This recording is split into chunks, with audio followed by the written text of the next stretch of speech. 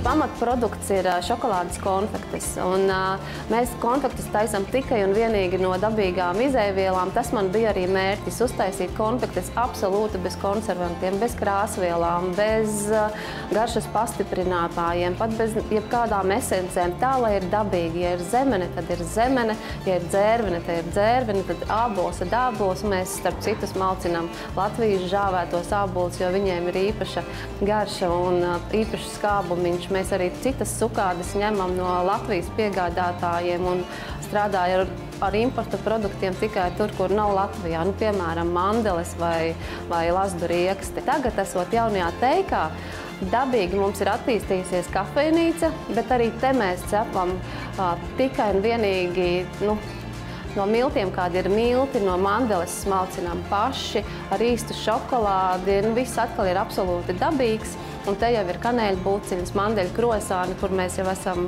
jaunajā, nu, šajā, šajā rajonā jau populāri arī ar tiem. Mūsu produkti ir pieejami mūsu mājaslapā www.teistaps.com. Esam šobrīd arī Voltā.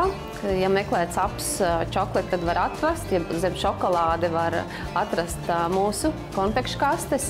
Tur var nopirkt arī krosānus šos mūsu. Mēs esam arī 220.lv un no 220 var pasūtīt jebkur Latvijā tieši konfekšu kastes. Mūsu Viena liela biznesa daļa ir korporatīvo dāvanu veidošana. Mēs veidojam, liekam uz mūsu skaistajām konfekšu kārtām uzņēmumu logo vai nu kartiņā vai kaut kādā citā veidā. Un, jā, tas ir tas, kas mums ir tas mūsu lielākais bizness. Mēs personalizējam arī dāvanas, tad, kad cilvēkiem vajag, nu, pieņemsim, 8. marts, Ziemassvētki, Valentīna diena.